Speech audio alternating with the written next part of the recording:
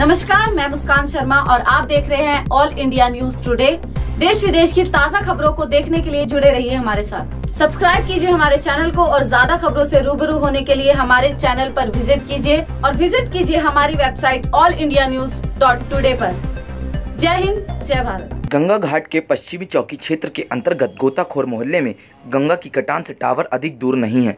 Tower जो गंगा के करीब बना हुआ है। गंगा की कटान अधिक बढ़ने से टावर कुछ फासले पर है।